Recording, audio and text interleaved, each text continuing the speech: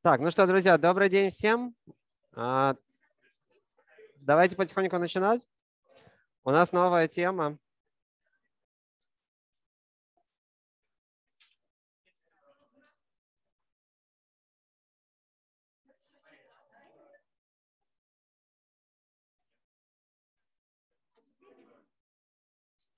А, можно, наверное, выключить этот цвет и включить тот, чтобы было лучше видно.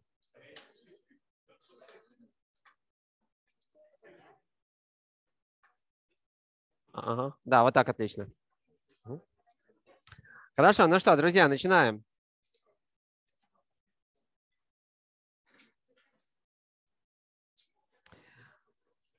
А, итак, смотрите. Значит, до сих пор мы с вами обсуждали последовательности и пределы последовательностей. А, с одной стороны, последовательности для многих из нас это более новый объект, а, чем функция, потому что с функциями так или иначе все сталкивались в школе. А, но мы начали курс последовательности, э, потому что это такая штука, в которой чуть проще определять предел. Не так, чтобы было бы катастрофически проще, а, но, по крайней мере, чуть-чуть меньше степеней свободы. А сейчас мы переходим к, ним, к более сложному объекту, к функциям. А, и с одной стороны, у всех есть какие-то представления из школы, да, в школе там проходят, что бывают там всякие функции, параболы, гиперболы, синусы, косинусы и так далее. Вот. А с другой стороны, нам сейчас придется очень глубоко во все это погрузиться, а, понять, как все это работает. Вот. Ну, давайте я начну с определений.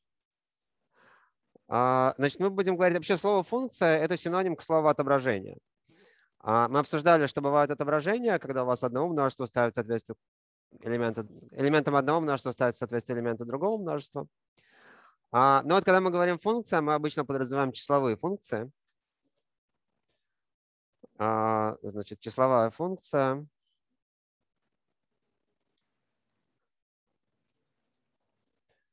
это просто отображение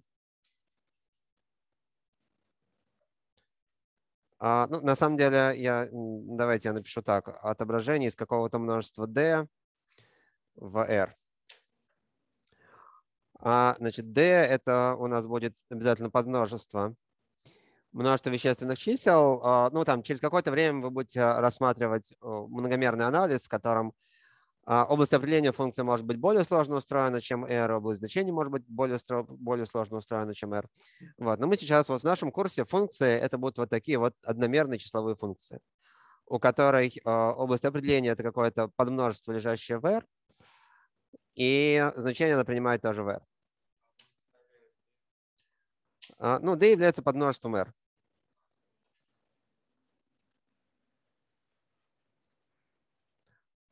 значит, D в таком случае называется область определения функции.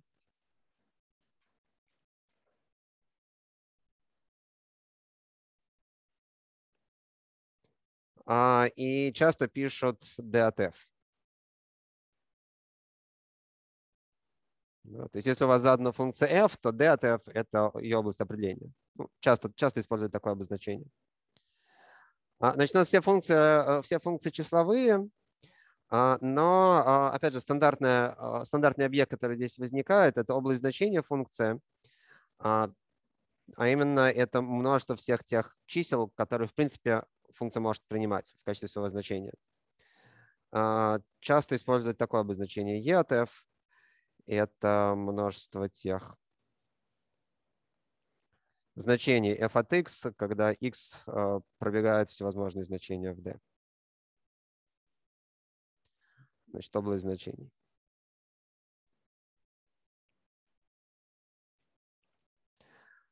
Вот. Ну, давайте я приведу какой-нибудь пример. Да, допустим, можно функцию задать формулой f от x равняется x квадрат. Ну вот, на самом деле, когда я написал такую формулу, я не совсем, не совсем правда, что я полностью задал функцию, потому что когда я вот такое написал, не совсем понятно, какая область определения вот этой штуки. С одной стороны, можно рассматривать а, вот эту функцию, заданную такой формулой и определенно на всей числовой оси. Да, а, у нее будет графиком допустим, вся парабола целиком.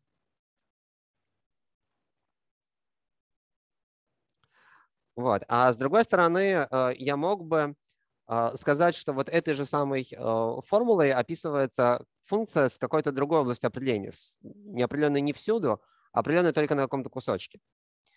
А, и это часто бывает полезно, ну, там по разным причинам. Например, у нас, ну вот, например, а, мы думаем, что у нас x – это там не какое-то абстрактное число, а какая-то величина, которая может быть только положительной. Какой-нибудь там выпуск чего-нибудь. А, да, вы не можете выпустить минус 3 телевизора. А, и в этом случае довольно естественно говорить, что наша функция определена там не всюду, а определена только на неотрицательных числах. Вот. А, вот можно рассмотреть, допустим, такую функцию. Вот то, что я нарисовал, это график функции. Это y равняется x квадрат, определенный на, на r. Но я мог бы рассмотреть какую-нибудь другую штуку, например, а, возьму сейчас вот такой вот кусочек. Скажем, вот здесь вот у меня пусть будет 1, а здесь пусть будет 2. И возьму и нарисую вот такой вот кусочек этого, этой же самой параболы. Да, и а, вот это, это тоже график функции y равняется x квадрат, но только это, строго говоря, другая функция, потому что у нее другая область определения, определенная на отрезке от единицы до двойки. Вот. А вообще, когда у вас есть какая-то функция, вы можете всегда ее ограничить на какое-то подмножество своей области определения. А, нам иногда будет полезно такое делать. А, значит, бывает такая штука, как ограничение функции на подмножество. Ограничение.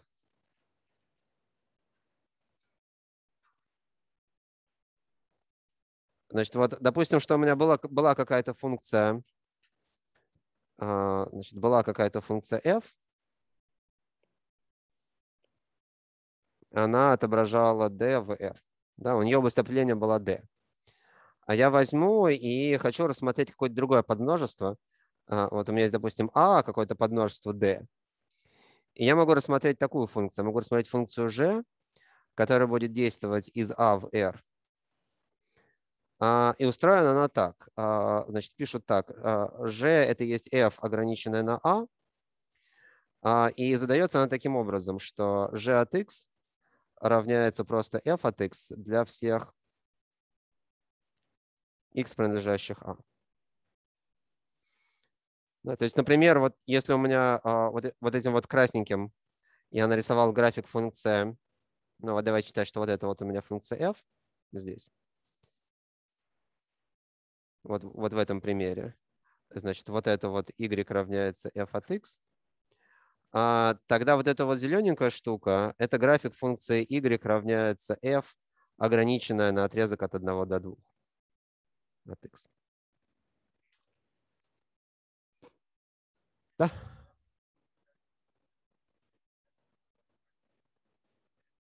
А, да, да, можно как бы можно ограничить нашу функцию на множество натуральных чисел и получить последовательность. Мы так на самом деле довольно часто делаем.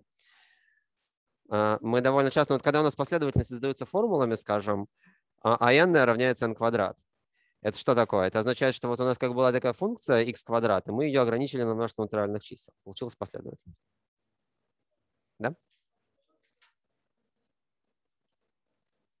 А, значит, вот это как раз вот эта вот самая а, палочка, это как раз ограничение. Вот я говорю, что а, g, а, функция g – это функция f, ограниченная на а, множество а, которое является подмножеством области определения. Ну, как бы это реально очень простая операция. Я просто говорю, что g совпадает с f во всех точках множества а, а во всех остальных точках она не определена.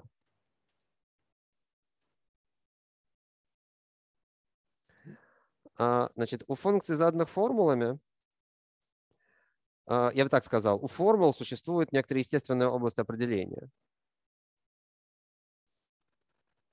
А, естественная область определения. И, как правило, если функция задана формулой и ничего не сказано про ее область определения, то обычно подразумевается, что область определения – это вот та самая естественная область определения, это множество тех значений x, при которых формула, в принципе, имеет смысл, при которых можно посчитать значение.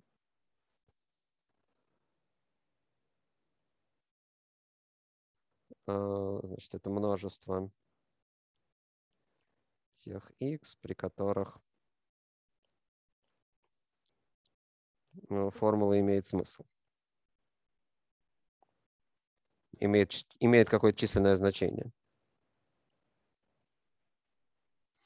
Да, ну, что, что это означает? Вот представьте себе, что у меня есть какая-нибудь функция, э, скажем, пример.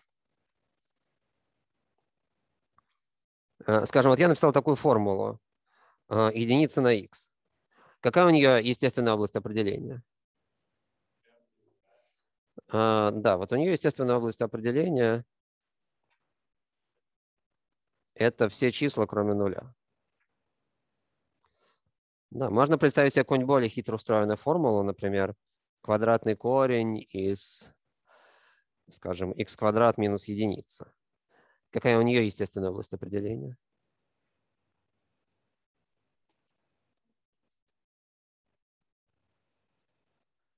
А, значит, x квадрат минус 1, когда он принимает неотрицательное значение? Чтобы был определен корень,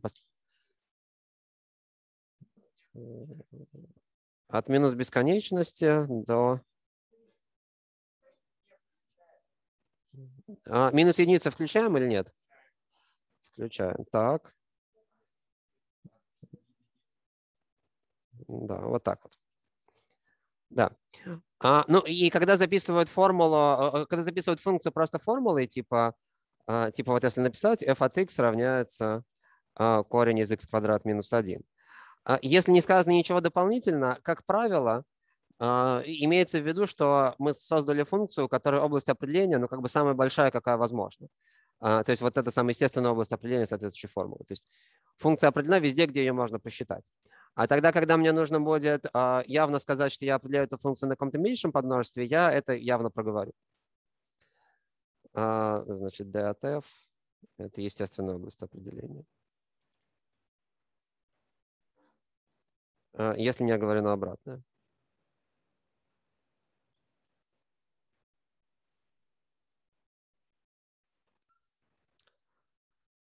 Вот. Ну, хорошо. Значит, это, в общем, такие, скорее, терминологические вопросы. Ну, давайте еще поговорим про функции. Значит, у нас уже встречались графики функций, вы, безусловно, знакомы а, с графиками функций и понимаете, что это такое. А, значит, формальное определение такое, что вот можно рассмотреть Декартову плоскость. А, да, у вас есть x, и у вас есть y. Значит, что такое вот эта Декартова плоскость? Ну, формально это есть r Декартового произведения с r.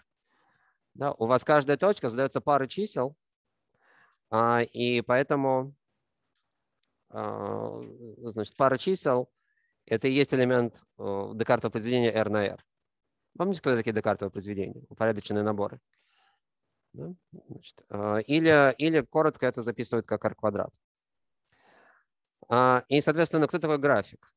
Значит, можно сказать, что график а, функции f – это есть подмножество декартовой плоскости, ну, которая устроена таким образом. Значит, у нее, оно состоит из точек, у которых иксовые координаты какая-то, а y координата равна а, f от этой x координаты. Ну и, соответственно, x координата пробегает все значения из области определения f. А, значит, это такое формальное определение, не то, чтобы оно вам давало а, что-то сильно, сильно больше понимания, чем вы и так знали. Вот. Но давайте, давайте поговорим, какие графики бывают, а каких не бывает. А, вот это а, график. Гр от слова график.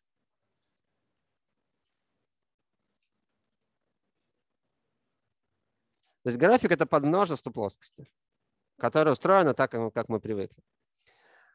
А, но вот про графики важно понимать, э, какими они бывают, а какими они не бывают, потому что не всякое подмножество плоскости является графиком какой-то функции. А, да, например, если я вам нарисую вот такое вот а, подмножество плоскости, а будет оно графиком или нет? Ну, по крайней мере, оно не будет графиком y равняется f от x. Да? По крайней мере, вот так, как я нарисовал оси, оно точно не будет графиком функции y равняется f от x. Почему это так?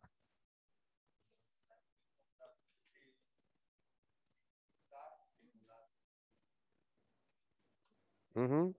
А, у нас нету, как бы не всегда есть однозначность. То есть для того, чтобы, ну, как бы у функции всегда есть однозначное значение. В любой точке функция либо не имеет никакого значения, если она там не определена, а если она там определена, то значение ее определяется однозначно. А переходя на язык графиков, это означает, что если я проведу любую вертикальную прямую, то эта вертикальная прямая обязана пересекать а, мое, мой график э, не более чем в одной точке. Она может не пересекать вовсе, если функция соответствующей иксовой координаты не определена. Или он может пересекать один раз, но вот такого не может быть, чтобы он пересекал три раза. Значит, вот это не график.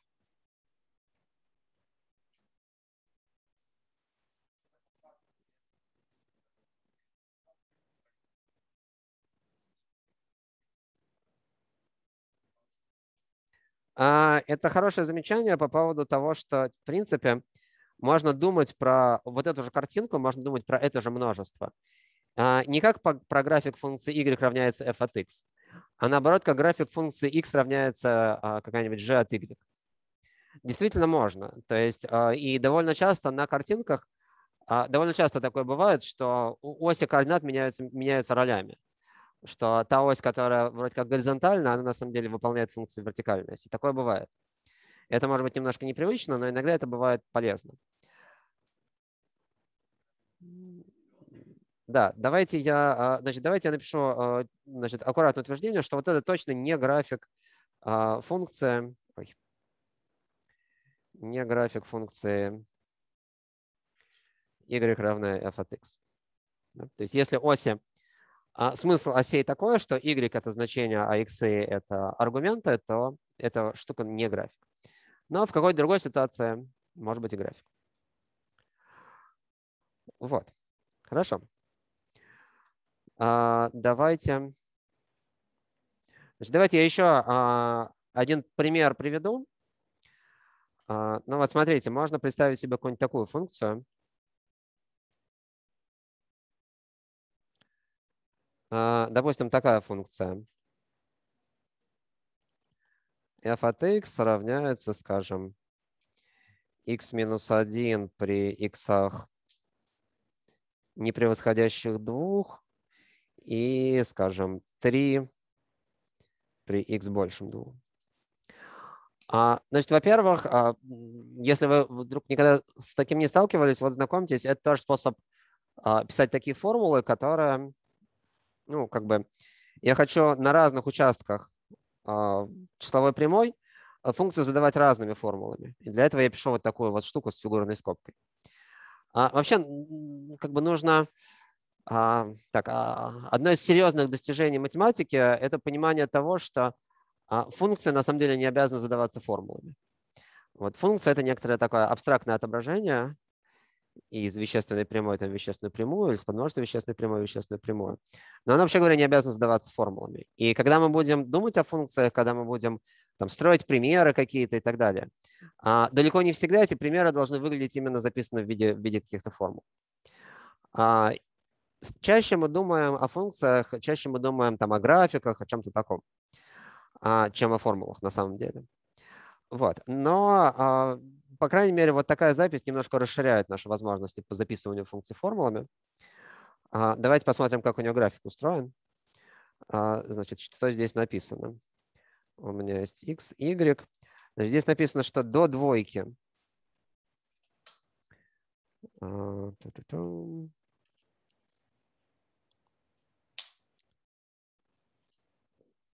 Значит, вот у меня здесь есть какие-то значения. А, до двойки значения совпадают с функцией x минус 1. Так, что такое x минус 1? x минус 1 – это вот такая штука. Она в точке 0 принимает значение минус единица, а дальше растет вот так.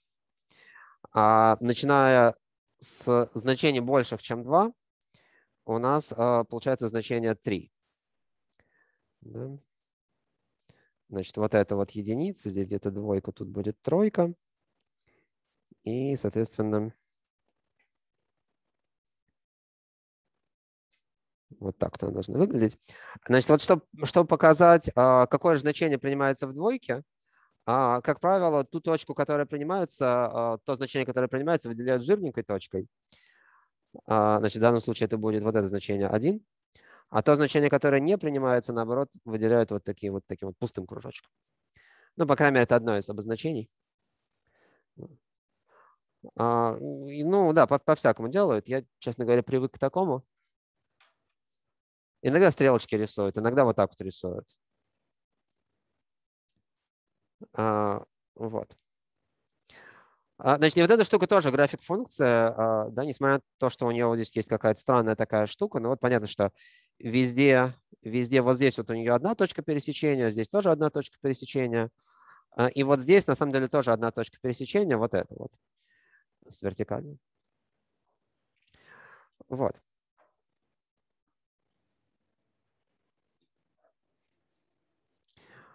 А, ну, давайте я совсем, а, чтобы показать, что не всякую функцию можно представить в виде формулы, а еще не всякую функцию можно хорошо себе представить в виде графика. А, давайте я покажу пример функции, которую довольно трудно представить себе в виде графика, а именно это функция Дирихле. Давайте рассмотрим такую функцию.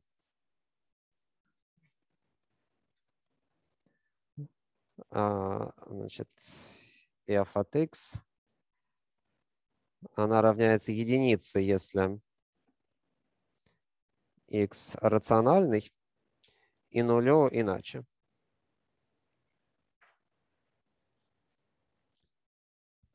То есть во всех рациональных точках она принимает значение 1, а во всех иррациональных принимает значение 0. Представили себе график?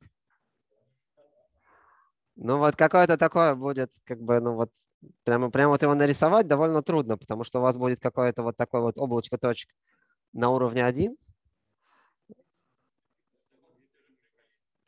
Ну, вот как бы, да, прямая, но она там немножко дырявая, эта прямая сверху, хоть и всюду плотная. Как мы знаем, рациональные числа, рациональные числа дырявые. Поэтому как бы, ну вот получается, что у нас вот сейчас, давайте я, давайте другим цветом это нарисую. А функция Дирихле – это фамилия французского математика такого. Значит, вот какой-то такой у нее график.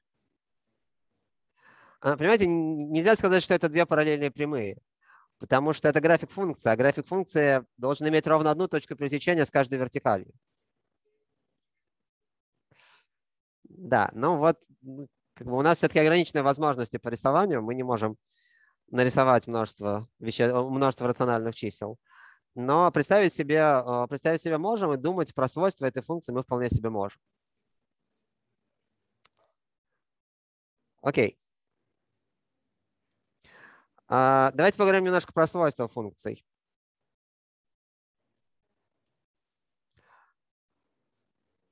Ну, то есть свойства, которыми, в принципе, могут обладать функции, а могут не обладать. А, ну, я скажу два слова про свойства функции, которые аналогичны соответствующим свойствам последовательности.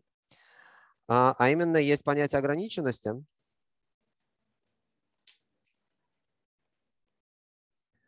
А, а именно функция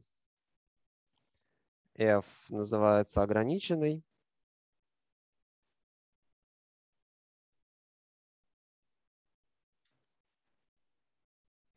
А, соответственно, ограниченный сверху, ограниченный снизу.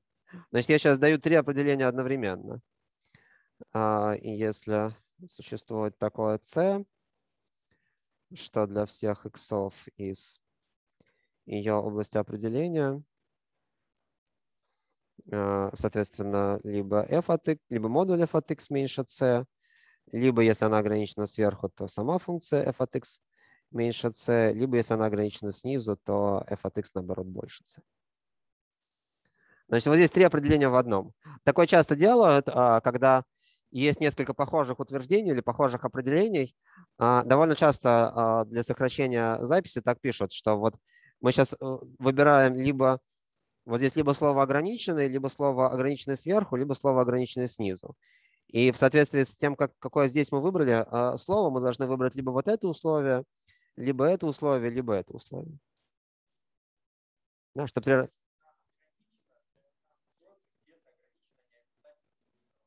А, ну как, у нее модуль должен быть ограничен. Если она просто ограничена, сверху и снизу она должна быть ограничена. Вот, вот эта штука должна выполняться, если она просто ограничена. Просто ограниченность – это вот это условие. Значит, это абсолютно то же самое, что было для последовательности на самом деле. Ровно то же самое понятие.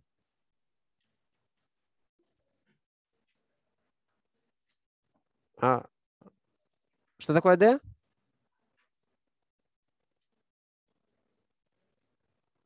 А, сейчас, я не совсем понял вопрос. Можете еще раз сказать?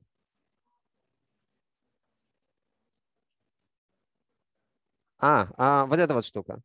А, смотрите, это стандартная запись для отображений. Я говорю, что f – это отображение, которое каждому элементу множества d ставит соответствующий элемент множества r. То есть в данном случае а, у меня подразумевается, что d – это тоже подмножество r. То есть, попросту говоря, здесь написано, что f каким-то числам вещественным ставит соответствие какие-то числа. Но поскольку, а, поскольку область определения не обязательно будет все, все, все множество вещественных чисел, я пишу здесь d.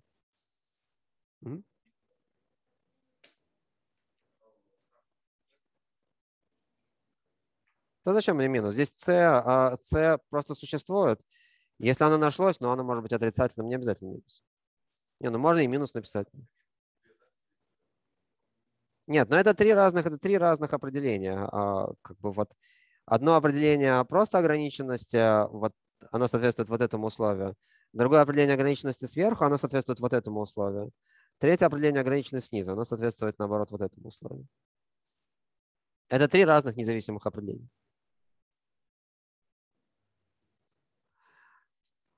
Вот. Да? Ну, по, а, абсолютно по той же логике, что и раньше а, неважно. Всегда можно c увеличить на единицу или уменьшить на единицу. А, следующее свойство, которое нам тоже пригодится, это монотонность. Значит, бывают функции, которые являются монотонными, допустим, возрастающими или убывающими. Значит, вот пусть у меня есть функция, да?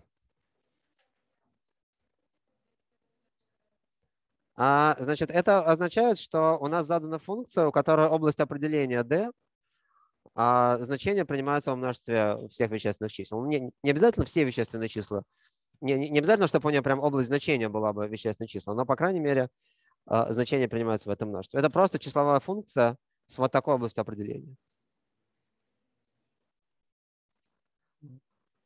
А, значит, если у нас есть а, такая функция, она называется,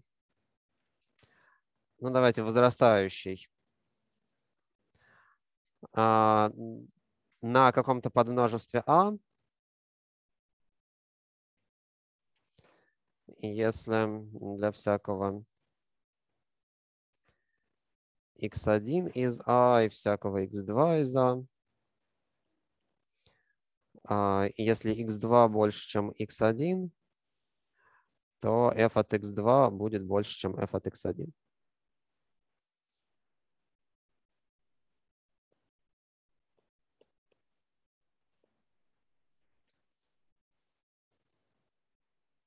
большим значением аргумента соответствует большее значение функции. Значит, соответственно, это возрастание, убывание записывается точно так же. Значит, есть возрастание, есть убывание. Давайте я просто, а, значит, убывает. Это то же самое, только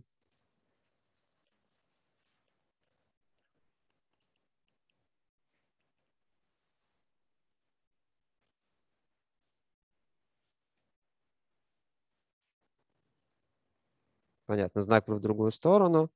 А, соответственно, есть а, не строгое возрастание или, опять же, не убывание. Ну, давайте я скажу, не убывает или не строго возрастает. Это означает, что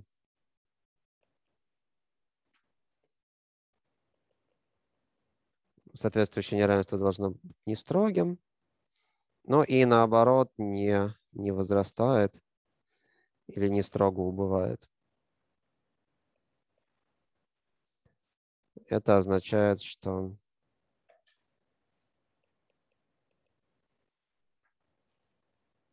такое неравенство.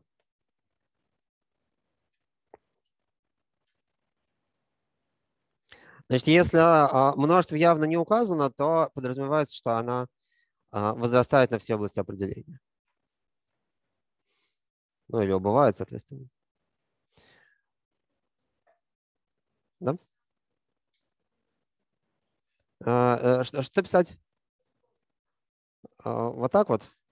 Без разницы как. Точно так же, как было с последовательностью. Помните, мы обсуждали, что а в определении ограниченности неважно, какое неравенство ставить, строго или не строго, потому что а, вне зависимости от того, какое неравенство вы поставите, определения окажутся эквивалентными, потому что можно увеличить c единицу в правильную сторону, и будет видно, что будет видно, что это одно и то же, а, одно и то же утверждение. Можно поставить, можно поставить не строгое, как хотите. Ну, давайте я уж как написал в первый раз, так оставим пока. А вот здесь важно, вот здесь получаются разные понятия в зависимости от того, строгое здесь неравенство или не строгое.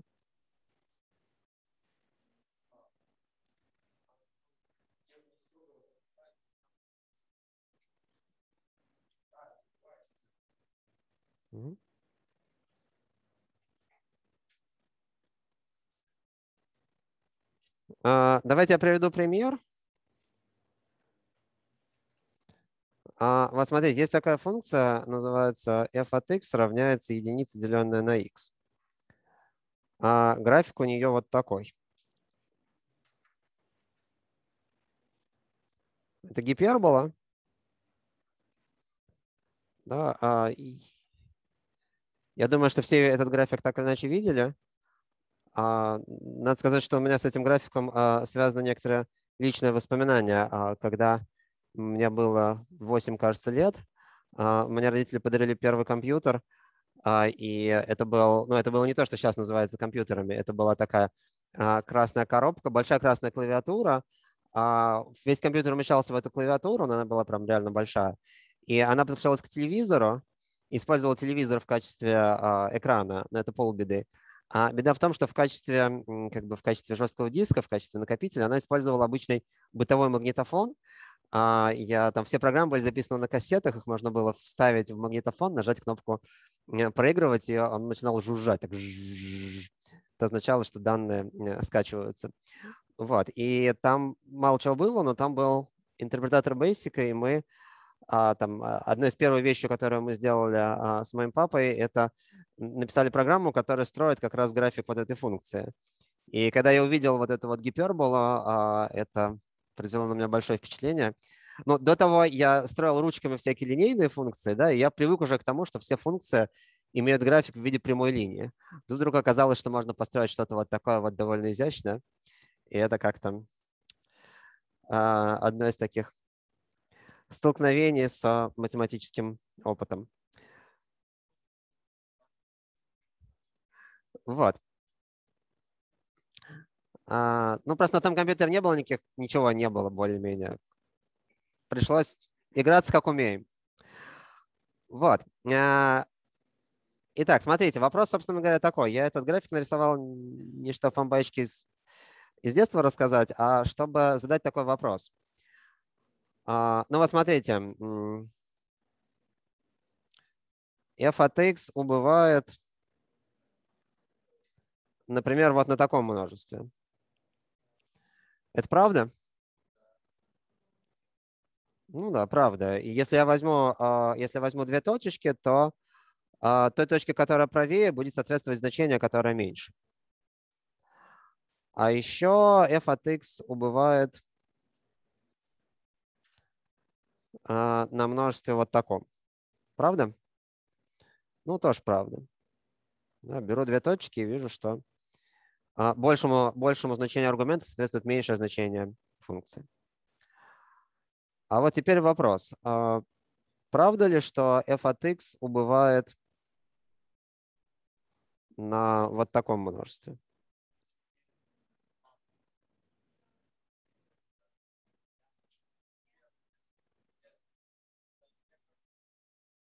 Угу.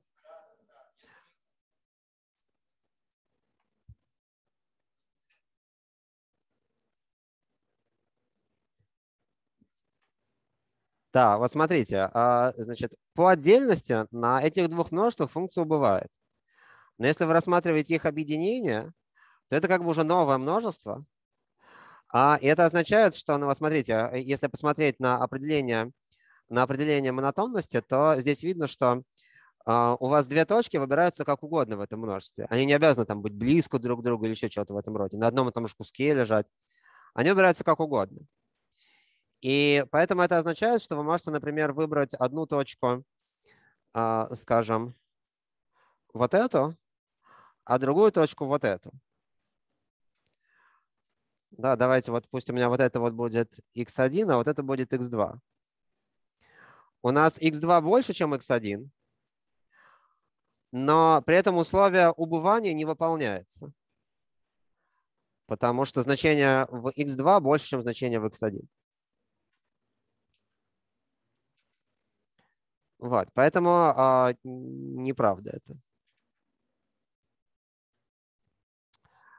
Вот. Поэтому, с, а, когда вы формулируете какие-то утверждения про то, что функция монотонна, а, нужно очень четко, очень четко понимать, что точно вы говорите. А, то есть в данном случае, если спросить, например, на каких, на каких множествах вот эта функция убывает, правильный ответ такой. Она убывает на вот этом множестве и на вот этом множестве. Это два отдельных утверждения два отдельных множества. На их объединении не убывает. Вот. Так, ну хорошо. Какие еще бывают тонкости про функции? Ну, наверное... Ну, хорошо, давайте такой вопрос. Константа, вот функция, которая просто f от x равняется 3. Что можете сказать про ее свойство монотонности? Да, вот это такая функция, которая монотонна в нестрогом смысле, а, и одновременно она монотонна, как бы она не строго возрастает и не строго убывает.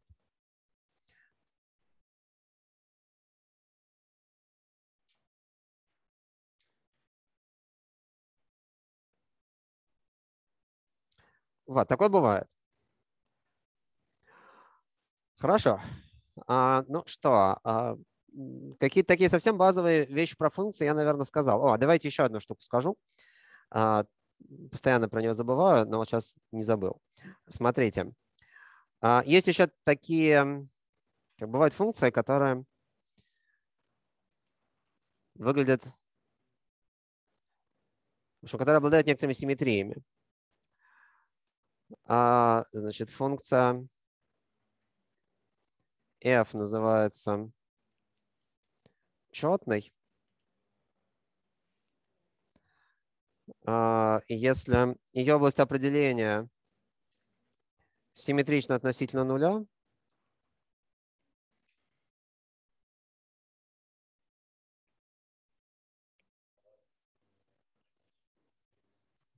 а, и для всякого x из области определения f от x равняется f от минус x. А, значит, что означает, что d от f симметрично относительно нуля? Ну, это означает, что если какое-то число принадлежит d от f, то и минус это число тоже принадлежит d от f. Так, а можно вернуть, да, как было, Ань? Так, так совсем светло, но можно вот, вот эту вот штуку тоже выключить?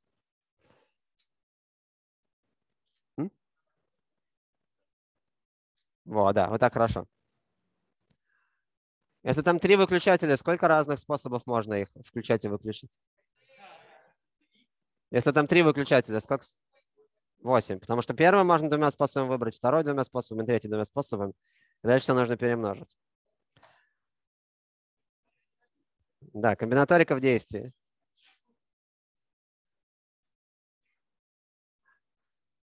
Вот. А, итак, смотрите, а, значит, чего я, э, чего я хочу сказать здесь? А, кто такие, кто такие четные функции? Ну, это такие, это такие функции, у которых график симметричен относительно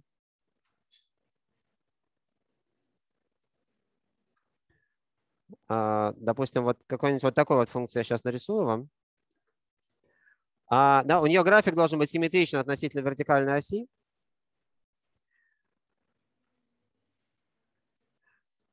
И в частности это означает, что у нее область определения должна быть тоже симметрична.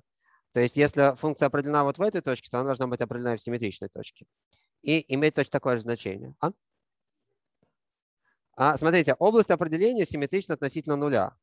Ну, то есть область определения – это множество на прямой. А,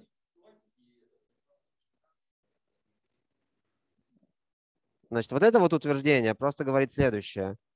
А, давайте я его распишу. Это означает, что а, для всех x из области определения минус x также принадлежит области определения. Вот что означает условие симметричности области определения относительно нуля. Вот, сама функция должна быть симметрична, э, сам график функции должен быть симметричен относительно вертикальной оси. Да, если у меня есть какая-то точка вот здесь вот x, у нее есть значение f от x, в симметричной ей точке минус x должно приниматься то же самое значение.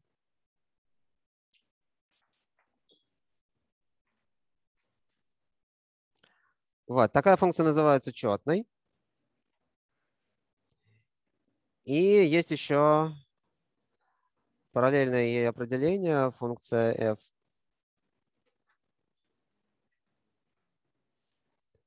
Называется нечетной.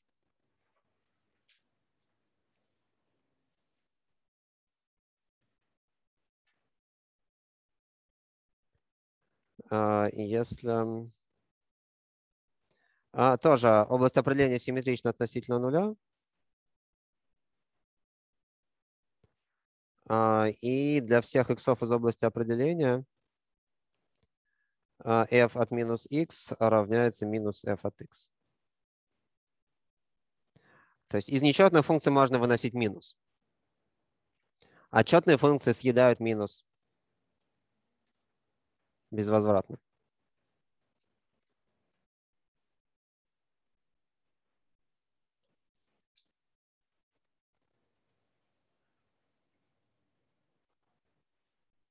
Значит, вот пример нечетной функции. А, значит, почему, а почему они называются четными и нечетными? А, ну, по всей видимости, потому что по аналогии с а, степенными функциями. А функции с четной степенью являются четными, потому что четная степень вам убивает знак минус. Да, минус x квадрат равняется x квадрат. А нечетная степень, наоборот, сохраняет минус, его можно вынести за знак нечетной степени. И отсюда же возникает аналогичная терминология для функций в более общем виде.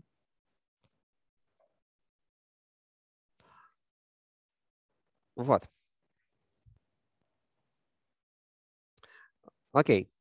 Значит, иногда нам, нам будут пригождаться эти симметрии, а, так что я их определил здесь.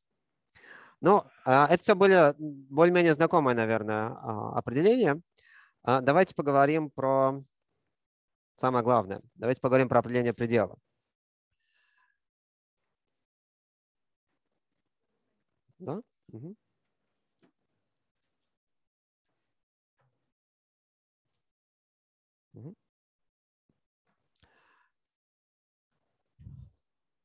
Так.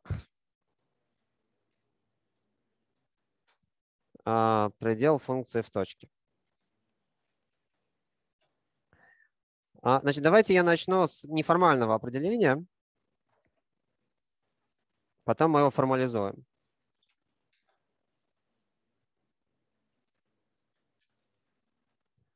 А, как бы определение.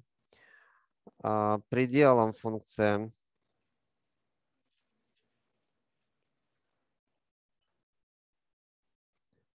в точке Ну, давайте не в точке, а давайте я скажу так. При x стремящемся а, к x0 называется а, такое число а, к которому f от x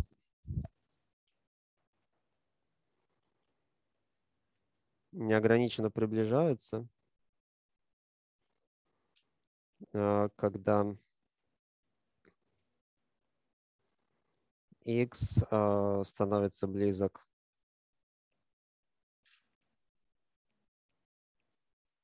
э, к x0, а, но не равен x0.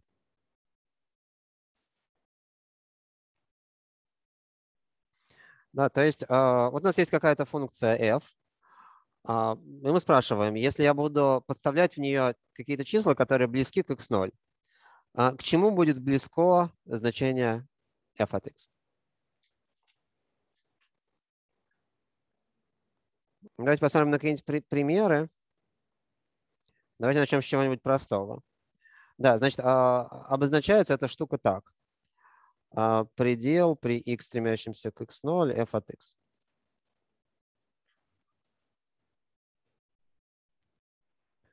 Значит, это неформальное определение. А, я просто хочу сначала как бы поговорить немножко на интуитивном уровне, а потом мы дадим формальное определение. Дальше будем с ним работать. А, смотрите, давайте я начну с совсем простого примера. Пусть у меня f от x равняется, скажем, x квадрат. И, допустим, меня интересует предел при x стремящемся к 3 от x квадрат. Да, то есть а, давайте я нарисую график. А, значит, вот у меня есть график моей параболы, точнее график квадратичной функции, который является параболой. А, и вот здесь есть числа 1, 2, 3. Да, и вопрос, который я ставлю такой. Допустим, что я буду выбирать x близко к тройке, но не равным тройке. А, вопрос, к чему будет близок y в этом случае? К чему будет близко значение функции? А, к 9. Это видно по картинке, видно как бы соображение здравого смысла. Если x, если x близок к тройке, ну куда же он денется? x квадрат будет близок к 9. Действительно, так оно и есть. А, значит, этот предел равен 9. Но тут может возникнуть вопрос, а что вообще огород было огородить? А, можно было бы просто ну, подставить да, а, и все, и получить ответ. Но ну вот проблема в том, что подставить не всегда можно. Бывает такое, что значение функции в некоторой точке, допустим, не определено, а тем не менее предел у нее существует. Давайте еще один пример. Например, вот такой. f от x равняется, скажем, x квадрат минус 1 разделить на x минус 1. И, допустим, я хочу найти предел при x, стремящемся к единице.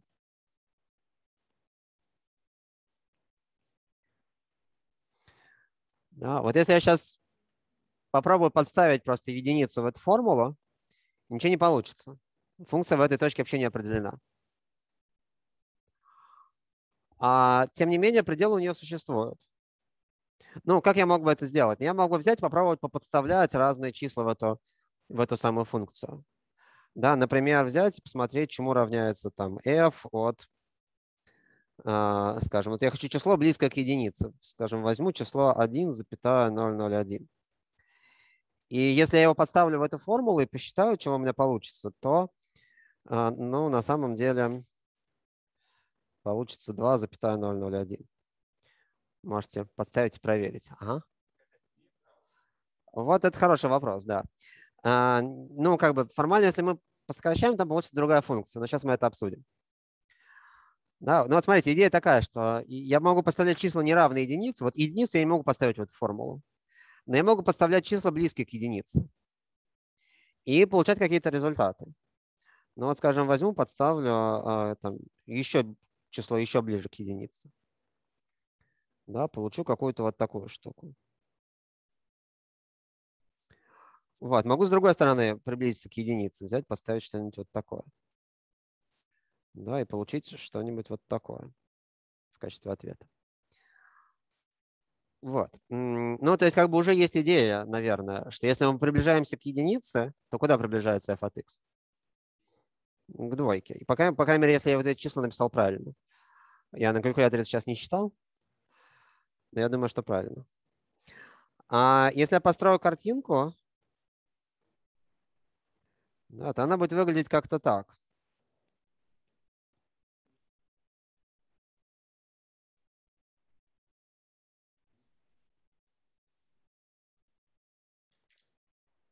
Значит, вот в точке 1 моя функция не определена вовсе. Но э, в близких точках э, ее график ведет себя ну, вот так, как я нарисовал. Ну, на самом деле э, легко понять, почему так. Давайте я еще какие-то числа напишу. Вот это единица, вот это двойка. А, почему это так? Ну, собственно говоря, как а, было предложение а, разложить числитель на, на множители.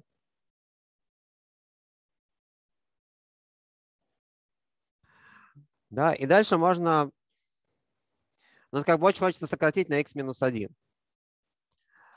А, да, но вот тогда мы на самом деле мы получим другую функцию. Но вот можно сказать так, можно сказать, что f от x моя исходная, а, это вот такая штука.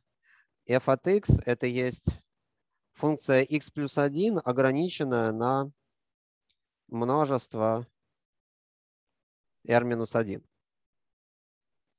То есть а, значение, которое функция f принимает для всех тех точек, в которых она определена, совпадают просто со значением функции x плюс 1. Это другая функция. Ну, вот как бы если бы я не написал вот эту вот приписку, то вот эти две функции, вообще говоря, были бы разные, у них разные области определения. Но а, благодаря тому, что я написал эту приписку, явно ограничил вот эту функцию на вот это подмножество, у меня получается, что это действительно так, что вот это утверждение верно. И теперь, смотрите, давайте теперь вернемся к... Давайте посмотрим на картинку. Да, я буду подставлять разные числа, близкие к единице. И понятно, куда у меня будет приближаться y. Значит, вот я как бы на графике выбираю точки, которые близки к вот этой вот выколотой точке. И сама эта выколотая точка, она, а, у нее y координата 2. Ну, значит, а, вот те y координаты, которые у меня здесь получаются, они оказываются близки к двум.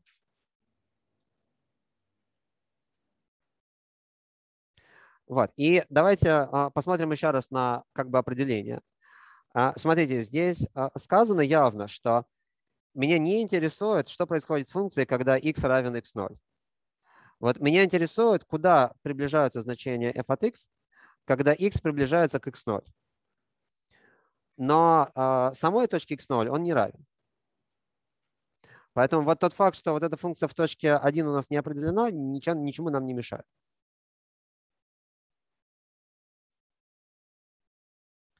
Вот. Э, предел этой штуки равен 2.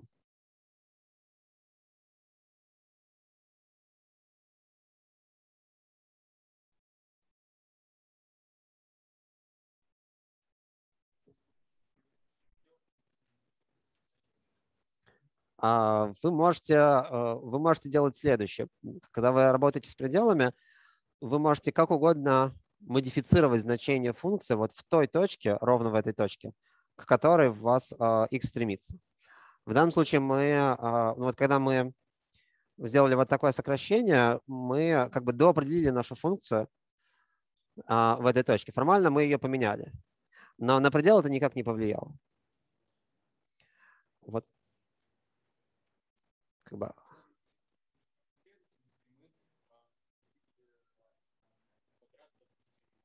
Но это немножко другая история. Деление на старшую степень в дробях – это некоторый прием, который позволяет найти, а, найти предел. Ну да, нет, в, какой, в какой-то мере это что-то что что близкое. А, давайте еще один пример я приведу.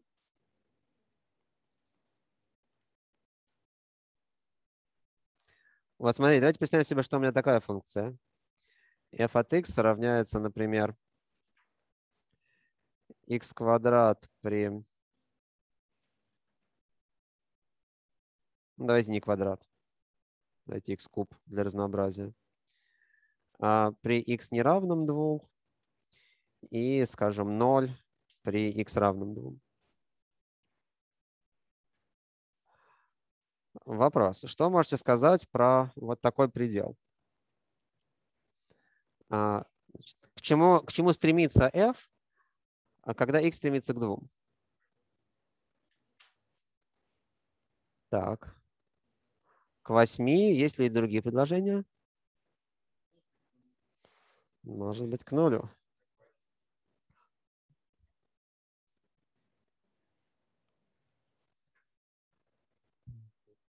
Да? А, давайте построим график. Значит, график будет выглядеть как-то так. Здесь довольно быстро растет. У него выколотая точка, и дальше он тоже растет. А, значит, вот это вот как раз точка 2, а в точке 2 значение будет 0. Вот смотрите, если я приближаюсь к 2, то значения функции приближаются к 8, точка 8. А если я попал ровно в точку 2, то значение становится нулем. Равно. Но, опять же, этот случай нам, как бы, эта ситуация нам не очень интересна. Нам не интересно значение функции в предельной точке. Нам важно, что происходит в окрестности, кроме самой этой точки, как говорится, в проколотой окрестности.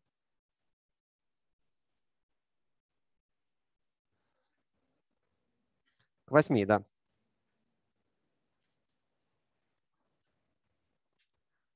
Ну, давайте, а, наверное, последний пример перед формальным определением.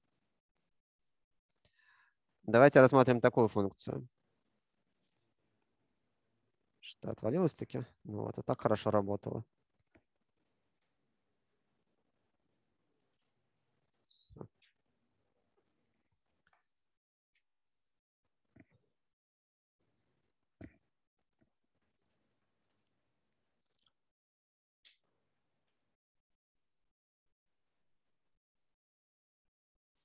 А вот, собственно говоря, мы уже э, обсуждали такой график. Давайте я вспомню, как он тут был записан. Вот, допустим, вот эта вот функция.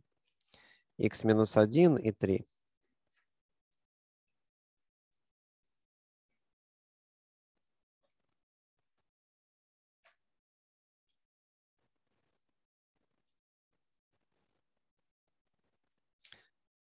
И интересует меня предел при x стремящемся к 2. Как вы думаете, что вы про него можете сказать?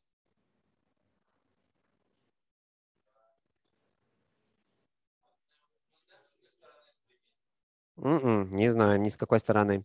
Просто стремится к двум. Просто становится близок к двум.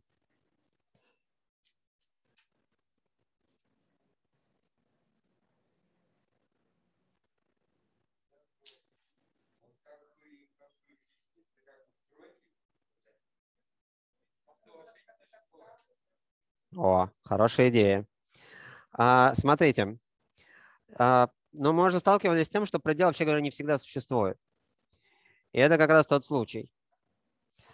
А, опять же, если мы откроем а, наше квазиопределение предела, оно хоть и квази, но позволяет отвечать на всякие вопросы.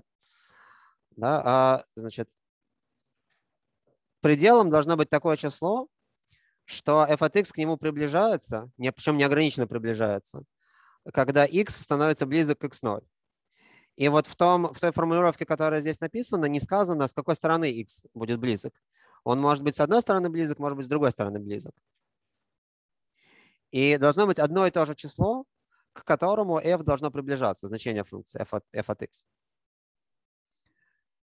Да? И вот здесь такого числа нет, потому что если я буду приближаться слева, так, давайте я нарисую, значит, это у нас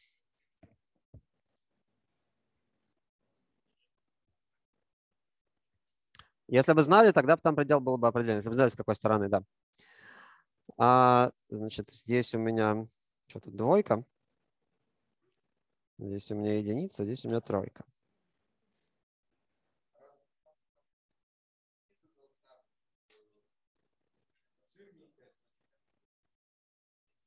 Жирненько, жирненько, да. Да, ваш правда. Ваш правда. Так.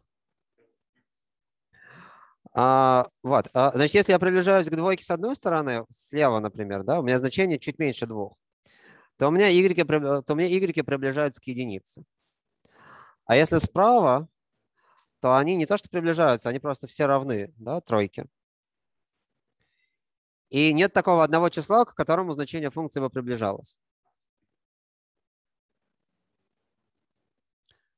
Не существует.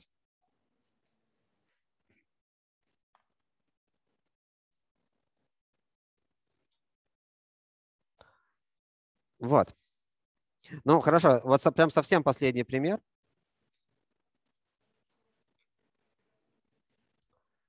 А, давайте рассмотрим такую функцию.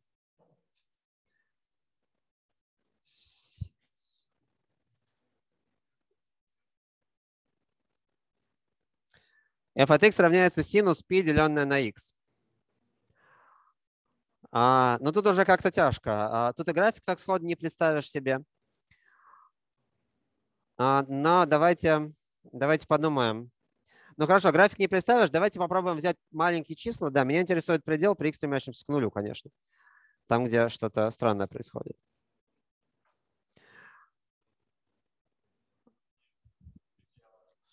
А, давайте попробуем угадать предел. А, давайте попробуем угадать предел. Давайте возьмем какие-нибудь числа, которые будут близки к нулю, и поподставляем, так как мы в, в самом начале. Три это число близко к нулю? А? Предел 3, предел синуса? Нет, конечно, в военное время синус, значение синуса может достигать трех, как, как говорит известный армейский анекдот, но а, значит, синус от π деленное на x, наша функция. А, давайте... Давайте возьмем какие-нибудь маленькие числа. Давайте возьмем, например, вот одну десятую. А, чему равняется f от одной десятой?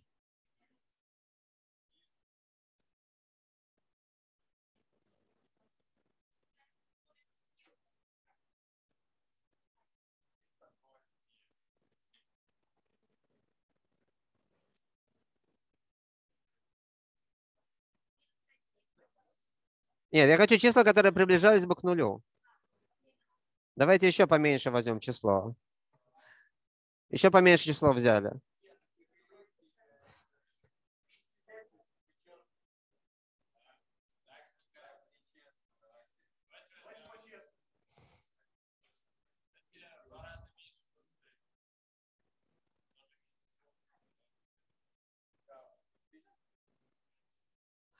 Ну, смотрите, вот я, вот смотрите, я выбираю очень, вот я могу выбрать очень маленькое число, очень близкое к нулю. И получится, и значение функции получится тоже близким к нулю. Ну, просто равным нулю. Ну что, предел 0? Нет, не 0. Что, никого не убедил? Какие-то вы недоверчивые.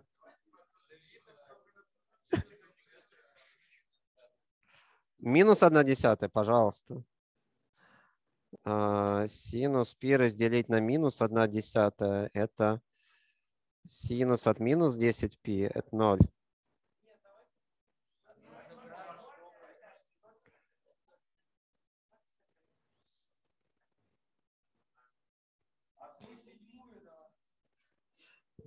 Одну седьмую? Не, я... Ну хорошо, ладно, давайте, а, давайте такое число.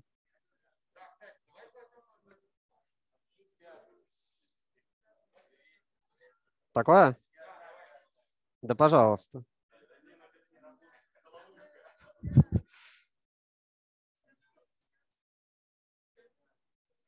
Значит, это что такое? Это мне нужно...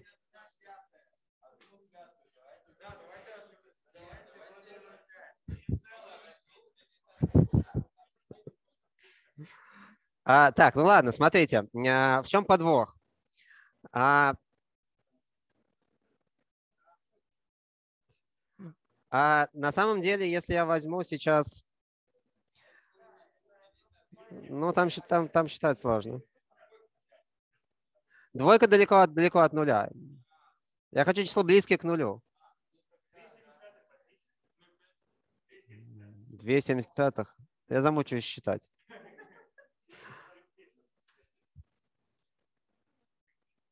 Сейчас. 2,75. Да, что получается тогда? А, синус, ну хорошо, ладно. 2,75 это вроде неплохой вариант.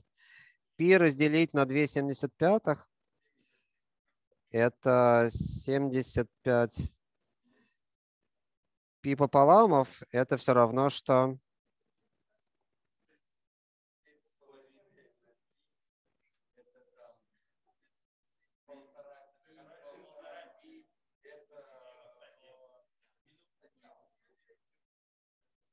Ну, вообще то же самое, что синус π пополам или минус синус π пополам. Минус. Минус, хорошо. Минус единица, да.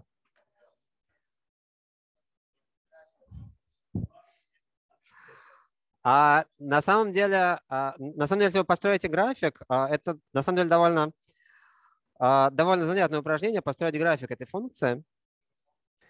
Ну вот смотрите, давайте, давайте я попробую построить эскиз этого графика. Вот смотрите, где эта штука принимает значение 0. В каких точках эта штука обнуляется?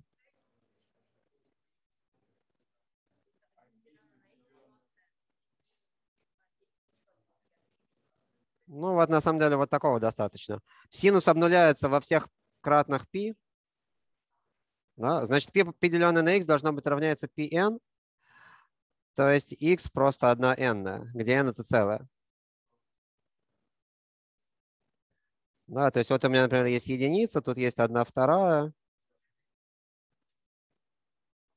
И то же самое с отрицательными числами.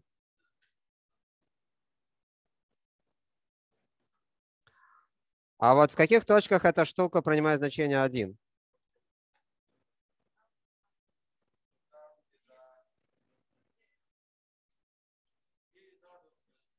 2pn плюс p. Да, единица, единица принимается в точке... О, пи пополам. Пи пополам, да. А, единица принимается в точке пи пополам синусом. И в...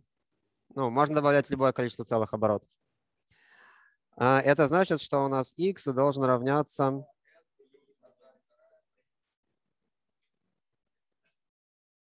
Единица на... 2n плюс... Правильно? То есть, смотрите, у меня есть числа, вот у меня есть вот такие числа, типа 1, 1 n, и у меня есть вот такие вот числа. Ну, да. Короче говоря, смотрите, у меня получается какие-то... Сейчас, ну давайте смотреть. Если n равняется, например, единице, то это будет что там? Одна вторая плюс чуть-чуть. То есть это будет где-то вот, вот здесь вот точка.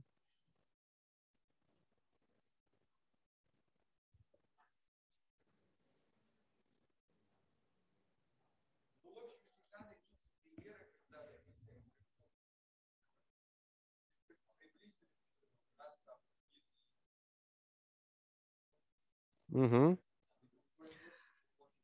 Да. Ну вот смотрите, а, график будет выглядеть как-то вот так.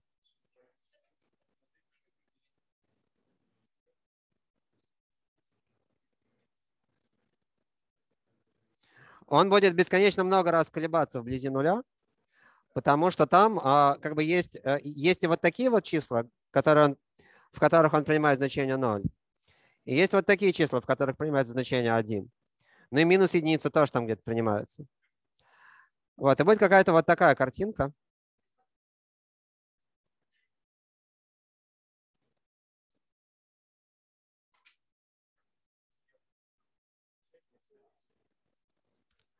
Вот. И никакого предела у него в нуле нет.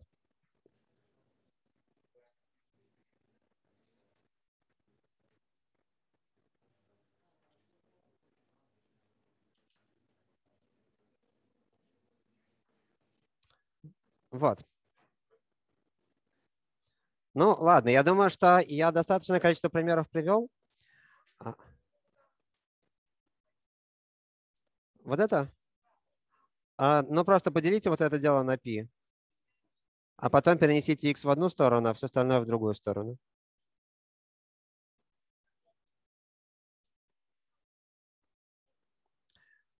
Так, ну ладно, смотрите, давайте, давайте дадим определение предела формальное. Настоящее определение предела.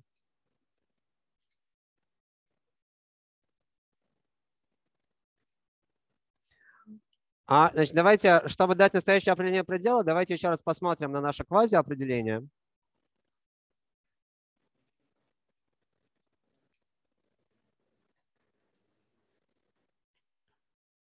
Так, где у меня было квази-определение? Вот. А, смотрите, я хочу сказать следующее. Вот здесь есть такие слова, которые... Так.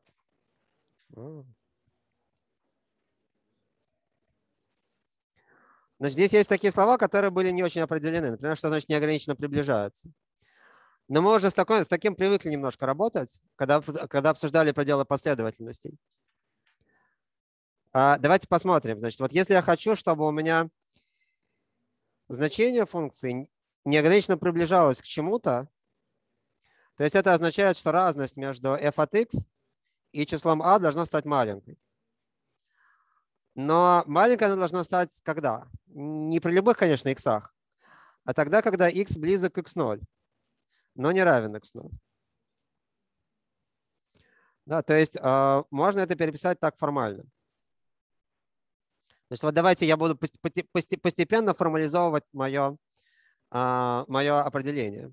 Вот раньше мы говорили что-то в таком роде. Если x близок к x0, то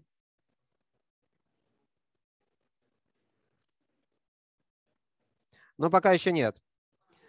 Сейчас, сейчас будет. Значит, если x близок к x0, но не равен x0, то f от x близок к А. Да, значит, я сейчас формализую вот такую штуку. А, давайте смотреть. Значит, утверждение, что x близок к x0. А, что, как его можно формализовать? Да, ну вот разница между x и x0 маленькая.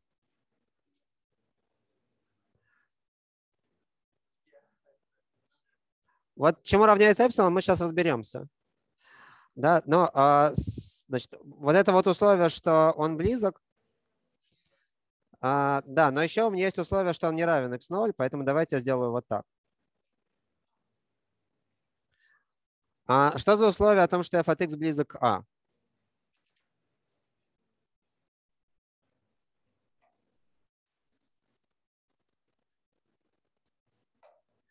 Значит, я хочу, чтобы расстояние между f от x и a тоже было маленьким. Ну, давайте я возьму другую букву, пусть она будет дельта. Значит, это буква дельта.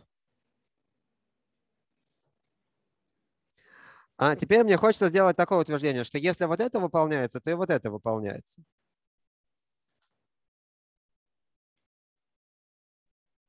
Да, то есть если x близок к x0, то f от x близко к a. А теперь только нужно разобраться с квантерами. Давайте посмотрим на все вот это дело. Давайте я какую-нибудь картиночку еще нарисую.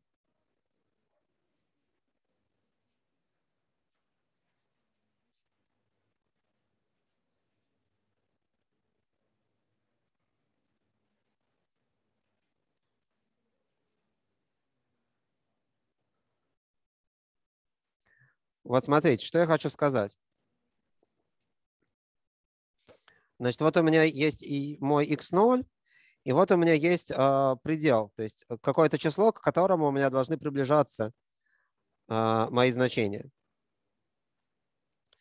И чего хочется сказать? Э, вот что означает, что я могу вот сделать вот это приближение неограниченным? Да, что вот если бы, если там была, было какое-нибудь расстояние, что они не подходят ближе, чем вот это расстояние, то это уже не то, что мы хотим. Мы хотим, чтобы вот это стремление, оно как бы было бы неограничено.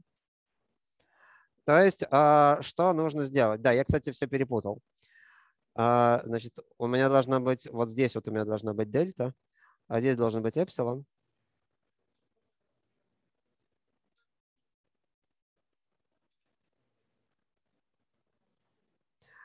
А, то есть, смотрите, а, я хочу сказать следующее. Я хочу сказать, что вот я могу выбрать любую окрестность вот здесь.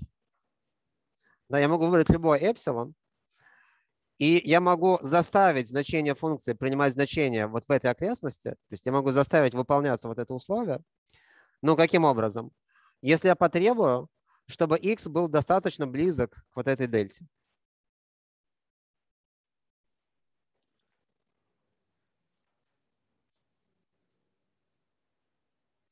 То есть вся вот эта вот штука, она должна выполняться с вот такими квантерами. Ой. Смотрите, Значит, а, для всякой для всякого эпсилон, то есть для всякой меры близости вот, вот этой вот штуки, я могу потребовать такой меры близости для иксов, что если вот это условие выполняется для любого икса, то вот это условие тоже выполняется.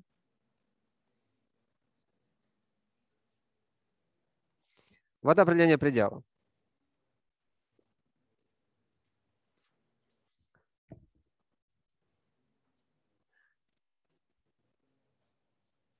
Значит, вот здесь вот у меня по y идут эпсилоны, по x идут дельты.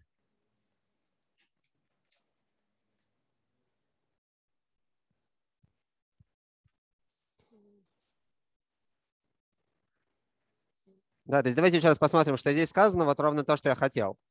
А, значит, какую бы, а, вот, как бы я, я могу, я, могу, я могу заказывать, насколько близко должно стать значение функции к числу а. Оно должно стать эпсилон близко. А, и предел равен а, если я могу гарантировать, что вот такая вот эпсилон близость имеет место, при условии, что x достаточно близок к x0. Ну да, по-хорошему да, но на самом деле, на самом деле, давайте я потребую, чтобы пусть f определена на некоторые окрестности точки x0, кроме самой точки x0. Как говорят, в некоторые проколы так окрестности точки x0. А, тогда а, с областью определения все хорошо. Я могу всегда выбрать такую дельту, чтобы вот эта штука находилась внутри области определения. А все остальные x меня не интересуют.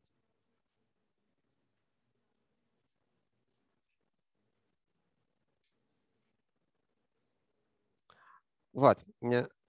Угу.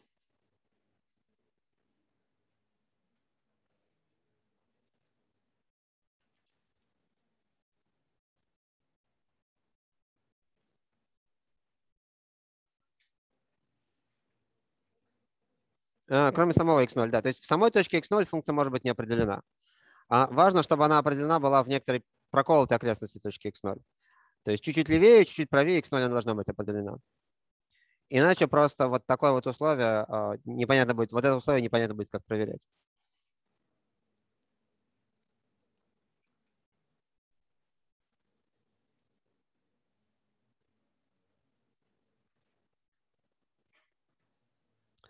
Вот, ну вот такая вот штука. А, такое определение. А, на самом деле оно очень похоже на определение предела последовательности, как вы видите. А, но вот раньше мы в определении предела последовательности у нас здесь была n большое, и здесь было условие, что номер больше, чем n большое. А теперь у нас какое-то вот такое вот условие. Но это добавляет некоторую сложность, но сейчас мы немножко повозимся с этим, я думаю, привыкнем.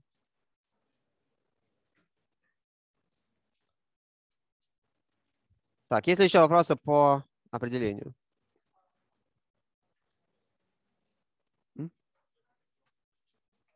Значит, это, это определение предела. А это определение вот, вот этого факта.